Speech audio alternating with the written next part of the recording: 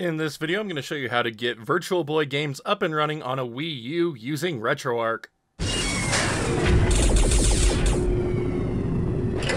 The Virtual Boy is Nintendo's worst selling system of all time. That being said, the system laid the groundwork for a lot of Nintendo's interest in 3D gaming that would be fully realized with the 3DS. Sadly, Virtual Boy has never really been re-released on anything, so it has come down to emulation for us to keep this system alive and moving forward into current generations. And today I'm going to show you how to get Virtual Boy running on Nintendo's next worst performing system, the Wii U, and the irony of this situation is not lost on me. So let's dive in. To get started with Virtual Boy emulation, we need Virtual Boy games. Now, there are hardware dumpers to dump your own physical collection of Virtual Boy games, otherwise, search the shady parts of the net. As always, no download links will be provided because that is illegal, so just stop! Anyways, once you've sourced your Virtual Boy games, we just need to put them onto our Wii U SD card. So on my Wii U SD card, I made a folder named RetroArch ROMs, and that's what I've been using throughout this tutorial series. So this is where I'm going to put my games. You can put your games anywhere you want on the SD card. It doesn't matter. I just like to have all of mine consolidated into a single folder. So I'm just going to drag my Virtual Boy games onto the SD card. And there we go. And once you have your games placed, you can pop the SD card out of your computer and put it back into the Wii U and get it booted up. Now, just as a quick reminder, this guide is a continuation of my RetroArch Wii U install video, so please refer back to that video for RetroArch installation initial settings, and how to install a forwarder channel like you see here on my Wii U home screen. But now that we got that out of the way, let's go ahead and boot into RetroArch, and you can do this either through the Homebrew launcher or a RetroArch forwarder channel. Once RetroArch is booted, we can begin loading up Virtual Boy games, and to do so we could go down to Load Core, scroll down to the Nintendo section, press right on your D-pad, to make it go quicker, and we are looking for Beetle VB. So here we go, Nintendo Virtual Boy Beetle VB. So press A on this, it will load up the core. And once the core is loaded, go down to load content and find your Virtual Boy game folder on your SD card. So click on SD. I put mine in RetroArch ROMs, Virtual Boy games, and I can begin loading up Virtual Boy games just by pressing A on them. I personally don't care for this method, it's really long and slow, so instead what I like to do is actually create a games playlist, and I could do so by going back out to the main menu, press left to go to the sidebar here, go down to import content, and from here we will do a manual scan. Content directory, choose your Virtual Boy game folder, so for me again it was in the SD card. RetroArch ROMs, Virtual Boy games, scan this directory.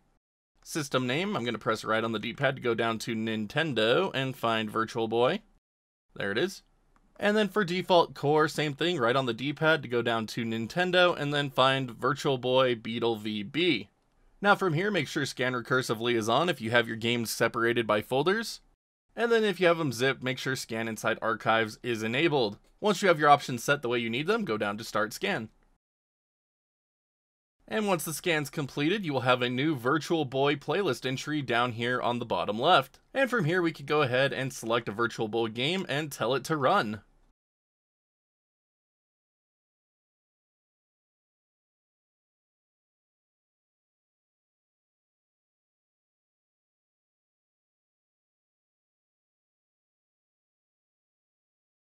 And there we go, Virtual Boy games up and running on a Nintendo Wii U. How absurd is this? And here we go, Virtual Boy games running really well on a Nintendo Wii U. Now, I have to say this is very difficult just because it is expecting a 3D display, and there isn't one on the Wii U, so this is actually really tough to play games like Mario Tennis. You just really gotta have the timing down. So for those of you looking to get Virtual Boy games up and running on a Nintendo Wii U, that is the process. Not much to this one at all. Just get your Virtual Boy games, put them on your Wii U SD card, and load them up. But let's cover some of the core options that are available within the Beetle VB core. There's not a whole lot here, so this won't take very long. Pressing the home button on our Wii U gamepad, we can bring up the RetroArch quick menu, and from here we can scroll down to the options menu.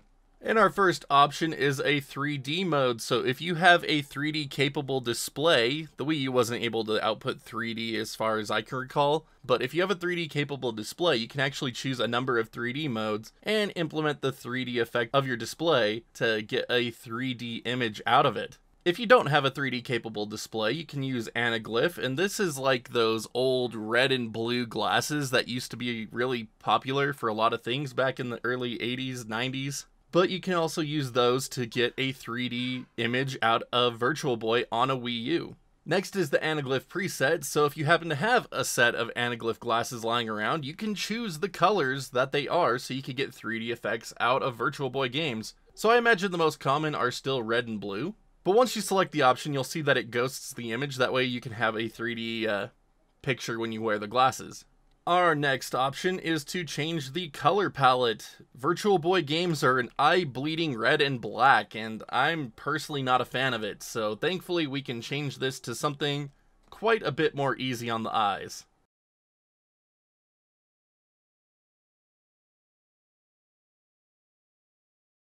Personally, I just prefer to put my Virtual Boy games in black and white.